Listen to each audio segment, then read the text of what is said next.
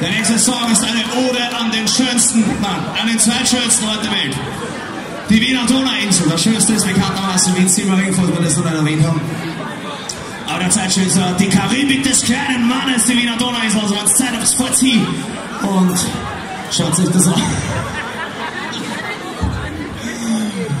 Deswegen heißt der nächste Song Insel muss Insel bleiben.